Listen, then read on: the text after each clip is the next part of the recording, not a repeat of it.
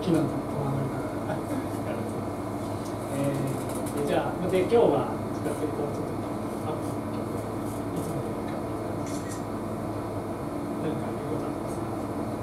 特にありませんよろしくお願いしますピアノケビスと言いますあの名前が難しいと覚えにくいんですけどまあ覚えて帰ってくださいよろしくお願いします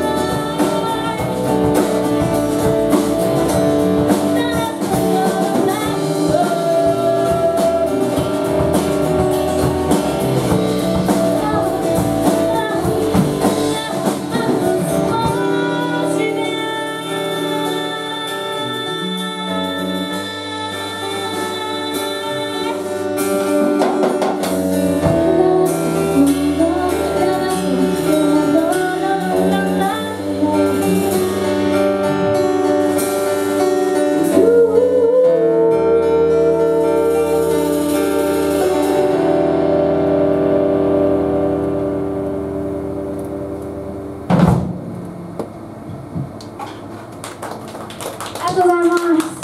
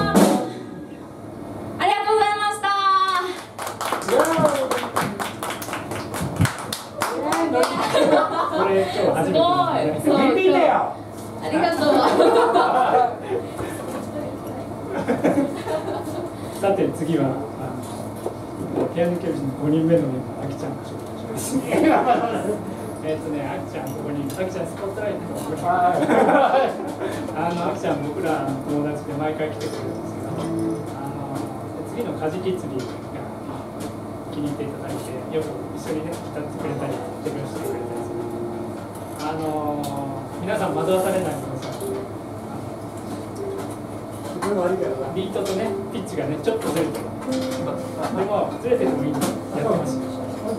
大丈夫大丈夫こっちこっちプロだで皆さんあの多分それ聞くとあの自分も歌っていいんだっていう気分になる一緒に歌ってください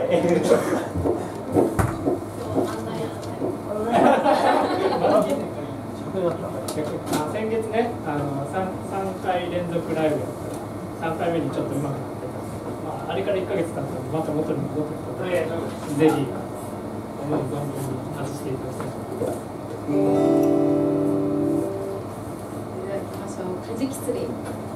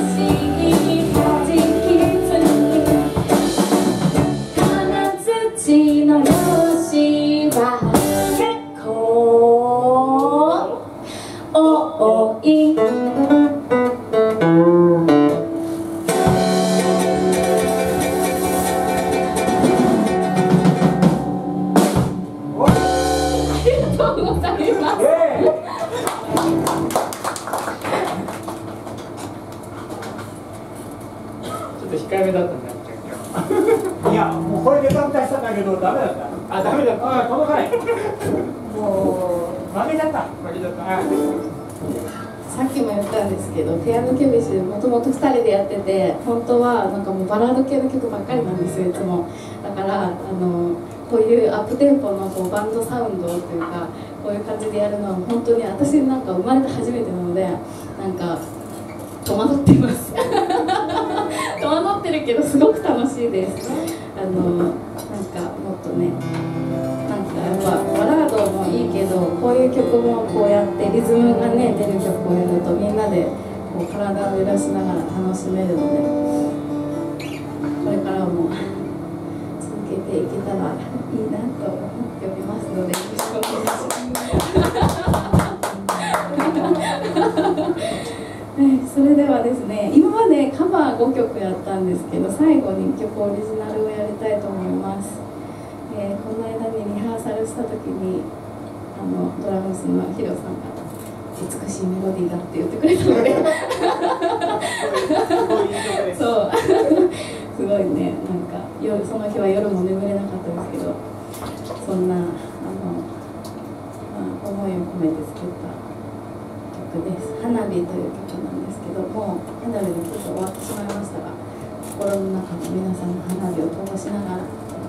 最後聴いていただきたいと思いますそ